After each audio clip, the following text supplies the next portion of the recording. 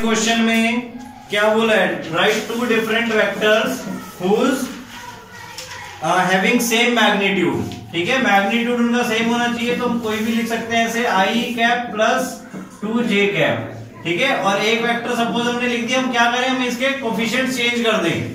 तो two i cap plus j cap clear magnitude कैसे निकालते हैं? अगर आपको चेक भी करना है तो मैग्नीट्यूड निकाल के देख लो इनका।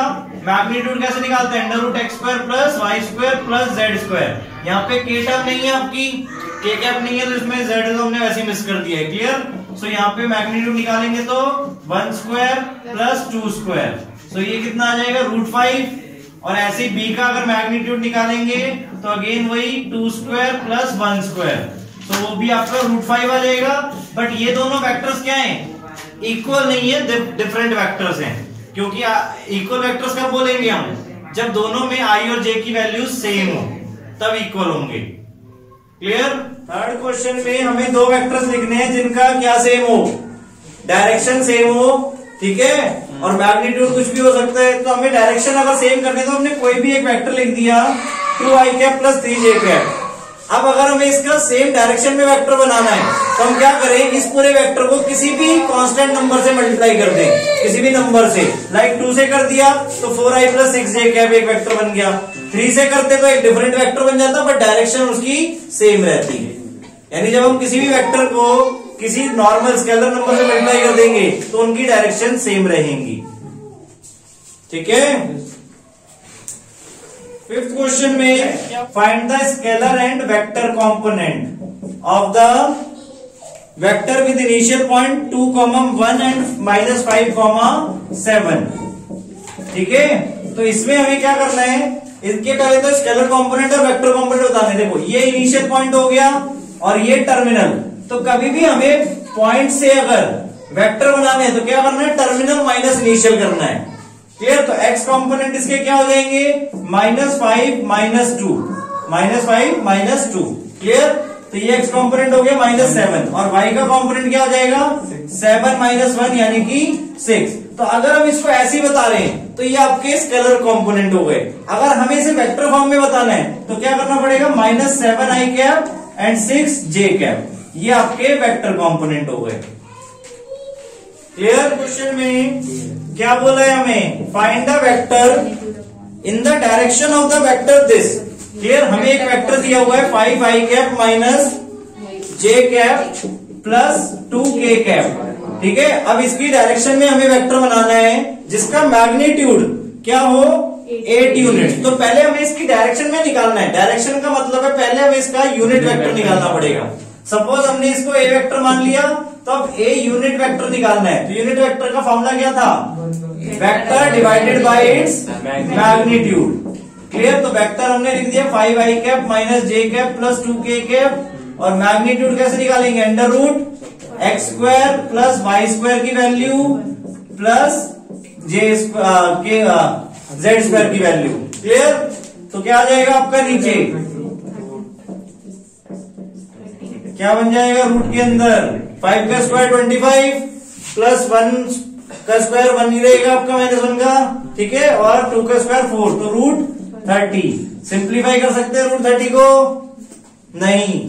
तो एज इट इज़ यानी five upon root thirty i cap minus j upon root thirty plus two k upon root thirty clear ये हो गया आपका यूनिट वेक्टर इसका. अब हमें एक वेक्टर बताना है जो क्या है? उसका मैग्नीट्यूड एट है और इसकी डायरेक्शन में था। तो हमें क्या करना है? एट ए कैप देखो ए कैप का मतलब समझ गया ना? यूनिट वेक्टर क्या डिनोट करता है आपका? उसका मैग्नीट्यूड वन होता है वो सिर्फ़ डायरेक्शन डिनोट करता है। तो हमें ऐसा वेक्टर बनाना है जिसका मैग्नीट्यूड एट हो और डायरेक्शन उस वेक्टर की हो। क्लियर तो अब क्या बन जाएगा आपका? Eight five forty i cap upon root thirty minus eight j cap root thirty upon में और plus two into eight sixteen k cap upon root thirty. Clear question number eleventh में क्या बोला है आपको? Show that the vectors two i cap minus three j cap plus four k cap एक vector आपको ये दिया हुआ है और दूसरा वेक्टर क्या दिया है? Four minus four minus four i cap आगे plus six j cap plus minus eight minus eight k cap अब इसमें देखो इसको सपोज़ हमने x one y one z one बोल दिया सपोज़ और इसको एक्स टू वाई टू और जेड टू क्लियर अब आपको देखना है अगर x one upon x two की ratio if x one upon x two equal to y one upon y two equal to z one upon z two आ रहा है तब आपके दो वेक्टर्स को हम कोलिनियर बोल सकते हैं। क्लियर हुआ कंसेप्ट कोई भी दो वेक्टर्स आपके कोलिनियर कब होंगे? जब x1 one upon x two y one upon y two और z1 one upon Z to आपस में क्या हो? इक्वल हो। तब आपके वो दोनों वेक्टर्स क्या होंगे? कोलिनियर होंगे। तो अगर हम यहाँ पर देखें टू अपॉन माइनस फोर आएगा। x1 one upon x two ठीक है? y1 one upon Y two क्या आएगा? इसको सिंप्लीफाई करेंगे तो क्या बनेगा? Minus one by two y one upon y two minus three upon six इसको भी सिंप्लीफाई करेंगे तो minus one by two z one upon z two four upon minus eight तो इसे भी सिंप्लीफाई करेंगे तो माइनस वन अपॉन टू तो तीनों इक्वल हैं तो therefore these vectors are collinear ठीक है? क्वेश्चन देखो find the direction cosine of the vector i cap plus two j cap plus three k cap. तो इसका डायरेक्शन को कोसाइन निकालना तो आप क्या करोगे? पहले इसका यूनिट वेक्टर निकालो तो यूनिट वेक्टर निकालने के लिए vector divide by magnitude. So क्या हो जाएगा? I cap plus two j cap plus three k cap divided by under root one का स्क्वायर प्लस टू का स्क्वायर प्लस थ्री का स्क्वायर ठीक है? तो क्या हो जाएगा? अंडर रूट में क्या आ जाएगा आपका नीचे? बताओ सॉल्व करके फटाफट। फोर्टीन ठीक है? सो अब तीनों के नीचे अलग अलग कर देंगे। I upon root fourteen plus two j upon root fourteen plus three k upon root fourteen clear यहाँ तक आया? ये यूनिट वेक्टर हो गया। अब इसमें हमें डायरेक्शन कोसाइन बताने हैं। तो डायरेक्शन कोसाइन आपकी जो एक्स वाई जेड की वैल्यू है यूनिट वेक्टर में वही आपके डायरेक्शन कोसाइन है। तो वो हो गए one upon root fourteen comma two upon root fourteen comma three upon root fourteen ये आपके डायरेक्शन कोसाइन हो गए। ठीक है? ये ये देखो। फोर्टीन क्वेश्चन में आपको क्या गिवन है? Show that the vector i plus j plus k यानी एक वेक्टर है आपका आई प्लस जे प्लस के वो आपको दिखाना है कि इक्वली इंक्लाइंड है O X O Y O Z पर। अब ये इक्वली इंक्लाइंड हमें कैसे पता चलेगा?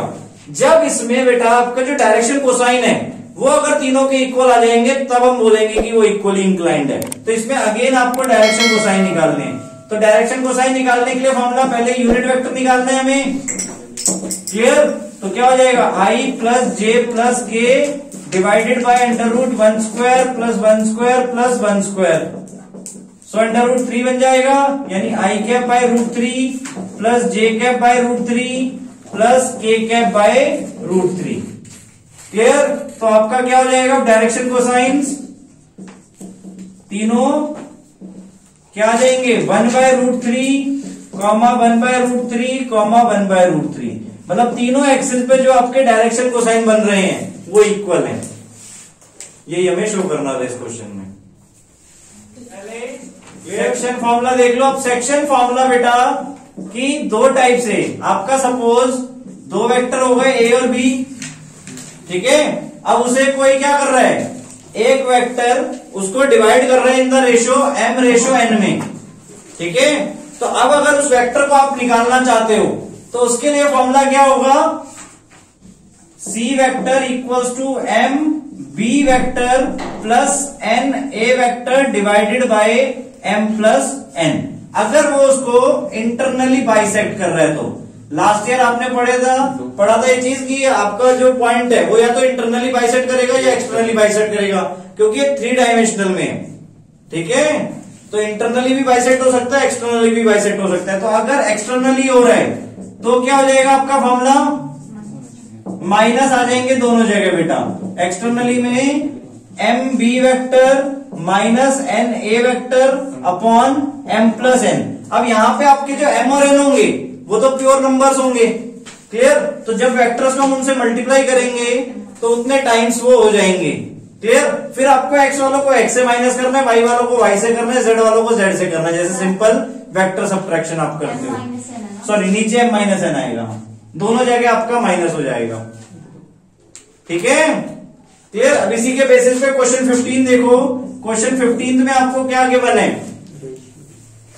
रेशियो गिवन है टू रेशियो वन और दोनों वेक्टर्स आपको गिवन है। यानी ए वेक्टर आपका क्या हो गया? I plus two j two j minus k clear और बी वेक्टर क्या हो गया? Minus i minus i cap plus j cap plus k cap plus j cap plus k cap और रेशो आपको क्या गिवन है? To ratio one. क्लियर तो अब हमें इसमें दोनों करने के लिए बोला है, पहले internally and then externally so internally करेंगे तो क्या होगा? पहले इंटरनली कर रहे हैं तो ये वाला फॉर्मूला भी यूज़ करेंगे, यानी सी वेक्टर हमारा क्या बनेगा? एम इंटू बी वैक्टर यानी two into b vector minus two i cap plus two j cap plus two k cap ठीक है? Plus n into a vector यानी वन इंटू ए वैक्टर करेंगे तो सेम यही रहेगा i cap plus two j cap minus k cap upon m plus n यानी कि two plus one that is three ठीक है? तो क्या आ जाएगा आपका answer minus two i cap plus i cap क्या बन जाएगा? Minus i cap plus two j plus two j plus two j plus four j plus two k cap minus k cap यानी plus k cap divided by three और फिर three को तीनों के नीचे अलग सेपरेटली बता देंगे minus i cap by three plus four by three j cap plus one by three k cap इसमें भी वन बाय थ्री कर लो वन आई बाय थ्री एक one by three i cap clear तो internally इस तरीके से निकाल दिया सेम एक्सटर्नली निकालना तो क्या करेंगे? बस यहाँ पे माइनस आ जाएगा तो और ब्रैकेट लगा के बेटा। ठीक है? माइनस पूरे को कर रहे हैं हम तो ब्रैकेट लगा के सॉल्व करेंगे उसे। और नीचे भी टू माइनस वन वन ही हो जाएगा फिर उस टाइम पर। क्लियर मिड पॉइंट के लिए आपका फॉर्मूला क्या हो जाएगा? C vector equals to a plus b vector divide by two तो ये हो जाएगा आपका। तो पहले वहाँ पे हमें वेक्टर बनाना पड़ेगा। अच्छा नहीं सिक्सटीन क्वेश्चन में देखो, दिया क्या हुआ है आपको? सिक्सटीन क्वेश्चन में आपको पोजीशन वेक्टर बताना है मिड पॉइंट का। तो पहले आप मिड पॉइंट निकालोगे उसका। मिड पॉइंट का फॉर्मूला क्या था? x equals to x one plus x two by two y के लिए y equals to y one plus y two by two और z के लिए z one plus z two by two तो वहाँ पे पहले तीनों वैल्यूज़ निकाल लो एक्स वाई जेड की क्या क्या होंगी? बताओ। x की two plus four three six by two यानी कि थ्री हो जाएगी, y की टू टू और z की वन अब इसका पोजीशन वेक्टर हमें बनाना है। तो अब वेक्टर हमारा क्या बन जाएगा? फाइनली यानी कि three i cap plus two j cap plus k cap ये हो जाएगा सिक्सटीन क्वेश्चन सेवनटीन हमें है कि ये वर्टिसेस हैं आपके। ए वेक्टर आपका क्या है? Three i cap minus four j cap minus four k cap b vector two i cap minus j cap plus k cap. और सी वेक्टर है आपका i cap minus three j cap plus minus five k cap. ये ध्यान से देखो बेटा, ये क्या है? वर्टिसेस हैं, ठीक है? अगर हम सपोज़ ये ट्राइंगल बना रहे हैं तो ये इनके वर्टिसेस हैं। हमें अगर इसको राइट एंगल ट्राइंगल प्रूफ करना है तो राइट एंगल ट्राइंगल के लिए आपकी पाइथागोरस थ्योरम कि साइड दो साइड के स्क्वायर का सम तीसरी साइड के स्क्वायर के इक्वल आना चाहिए। तो हमें पहले यहाँ पे इनकी साइड बनानी पड़ेगी। तो ये ए वेक्टर है और ये बी वेक्टर है। तो साइड अगर हम बनाएँगे इनकी तो वो क्या बनेगी? ए बी का होल वेक्टर क्लियर तो ए बी का होल वेक्टर आपका कैसे बनेगा? B minus A clear B minus A किया तो minus i cap minus j plus four j तो plus three j cap k plus four k five k cap clear A B vector बनाया हमने।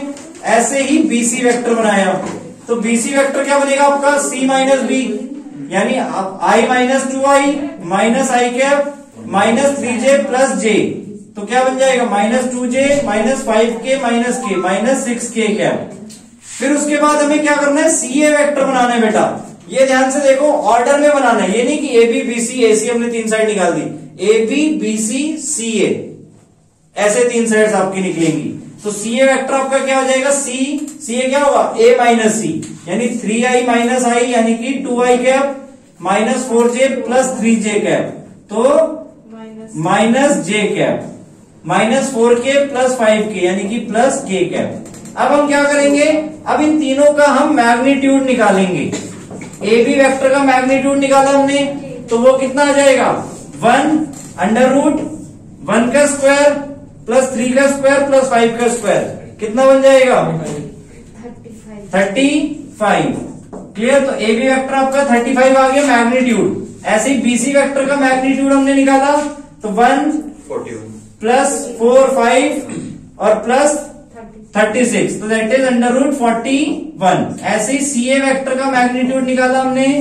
Two का square four plus one plus one तो under root six तो अब हम यहाँ पे देख रहे हैं कि ए बी वैक्टर का जो मैग्नीट्यूड है, उसका जो स्क्वायर है, उसको अगर हम सी ए वैक्टर के मैग्नीट्यूड में, के स्क्वायर में ऐड कर दें तो आपका क्या बन रहा है?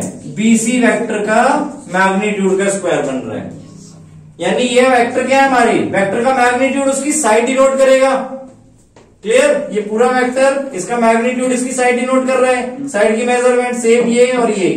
तो यानी आपकी ए बी वैक्टर और सी ए वैक्टर का स्क्वायर का सम किसके इक्वल आ गया? बीसी मैग्नीट्यूड के स्क्वायर के इक्वल आ गया। तो therefore these are the vertices of right angle triangle अब इसमें अगर हमें पूछा भी हो कि राइट एंगल आपका किन वेक्टर्स के बीच में बन रहा है या किस वर्टेक्स पे बन रहा है? राइट एंगल ट्राइंगल किस वर्टेक्स पे बन रहा है? तो वो हम कैसे बता सकते हैं? आपकी हाइपोटन्यूज वाली साइड कौन सी हो गई? बीसी तो ए वेक्टर पे 90 डिग्री बन रहा है। A vector is perpendicular clear यानी कि ए वेक्टर पे जो दो वेक्टर बन रहे हैं आपके सी ए और ए बी यानी A B vector is perpendicular to C A vector ठीक है? क्वेश्चन में देखो हमें क्या बोला हुआ है? इसके ऊपर आपको डायग्राम के है साइड में देखो A B then B C clear and then A to C आपका क्या बन जाएगा उसका? रिजल्टेंट क्लियर तो अगर हम इसको ज्योमेट्रिकली देखें तो A B vector plus B C vector किसके इक्वल है? ए सी वैक्टर बोलेंगे या सी ए वैक्टर बोलेंगे, बताओ? A B plus B C A C vector के इक्वल है। क्लियर क्योंकि जिस तरह डायरेक्शन है उसके अकॉर्डिंग आपका ए सी उसका रिजल्टेंट दिखा रहा है। तो अब या तो ये सही है या अगर हम ए सी वैक्टर को इधर शिफ्ट करें तो क्या हो जाएगा? ए सी वैक्टर माइनस में हो जाएगा ना? ज़ीरो का वेक्टर ज़ीरो वेक्टर ये बन जाएगी आपकी फाइनल इक्वेशन क्लियर तो अब इसको देखो फ़र्स्ट थिंग बेसिकली मतलब ये आपका रिज़ल्ट है इसका. नाउ अब इसमें पूछा है इसमें कौन सा ट्रू नहीं है? तो अगर हम फ़र्स्ट वाला देखें तो फ़र्स्ट वाले में इन्होंने क्या किया? A B plus B C है. एसी की जगह इन्होंने सी ए कर दिया है. अगर हम वेक्टर को आगे पीछे कर दें मतलब एसी की जगह अगर हम सी ए लिख रहे हैं तो माइनस की जगह प्लस हो जाएगा। क्यों? क्योंकि C A vector is equal to minus A C vector ठीक है? अगर आप डायरेक्शन चेंज कर रहे हो किसी वेक्टर की तो वो उसका नेगेटिव होता है। तो आपकी अगर इसके अकॉर्डिंग देखें तो फ़र्स्ट इक्वेशन सही है, गलत है? सही है। फ़र्स्ट वाली ये तो ये करेक्ट बन सकती है। सेकंड वाली में तो यही आपको दी हुई है तो सेकंड भी सही है। थर्ड वाली A B plus B C minus C A अब देखो फ़र्स्ट वाली हमने सही बोली है A B plus B C plus C A but third वाले में इसको माइनस में सी ए बोल रहे तो वो सही नहीं हो सकती. तो थर्ड वाली आपकी रॉन्ग है इसमें. ठीक है? और फोर्थ वाली भी फर्दर चेक कर लो. फोर्थ वाली में A B minus C B कर दिया देखो. तो अब यहाँ पे बीसी की जगह अगर हम सी बी कर देंगे तो ये माइनस हो जाएगा. और फिर फर्दर प्लस सी ए बोला हुआ है. तो फोर्थ वाली भी करेक्ट है आपकी। ठीक है? सिर्फ़ आपकी थर्ड वाली रॉन्ग है।